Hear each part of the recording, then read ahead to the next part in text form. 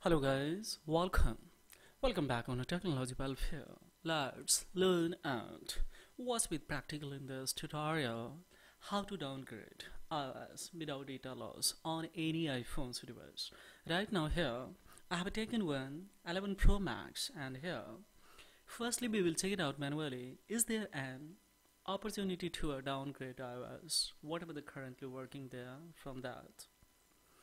And upon if it is not manually then how can I, I had to get it downgrade?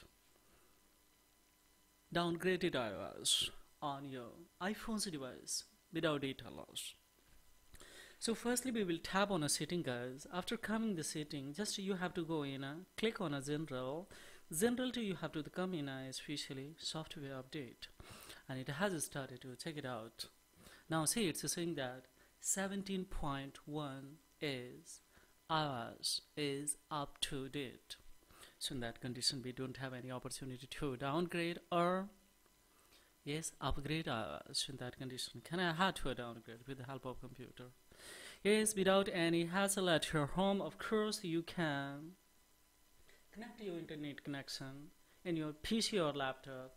Go for an administrator that is uh, especially here 3uTool guys and uh, open connect your data cable from iPhone's device to PC or laptops. And upon see it has been connected. 17.1 is currently especially working on this. Just we will click on a smart flash. A smart flash there we will go for refresh options and as we see guys, if you would like to downgrade, we have two more opportunity here. One is a 17.0.3 and of course 17.0.2 iOS. When I reached especially on 17.0.2 iOS, then if I click and then see if you would like to lose your data then come with this quick flash mode. Otherwise whatever the data is especially remained or especially available on your device that you would like to once again retain by retaining that data you would like to go for further downgrade iOS then of course you have to select this one. Retain user data. Hit this flash mode. The firstly we will have to download. So we will click here download. It will take time because the total size is approximately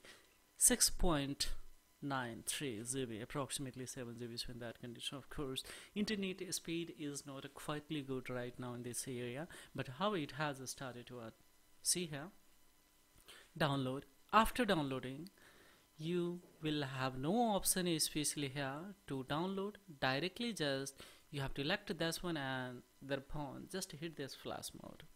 When you have the rest especially on 17.0.2 guys then once again you would like to come. Suppose here now uh, 17.0.2 iOS is on this device then of course definitely we will get we will get especially 16 iOS. So how it's easily without losing any data from your device especially we can downgrade iOS so this is all about in this video tutorial guys further any inquiry of course I have the query below the comment box I will reply as soon as possible according to your the query and see if you feel that it is informative and acknowledgeable, then please founder, like, subscribe, and share of this content because this may be beneficial who is a hiring course to have this kind of information, guys.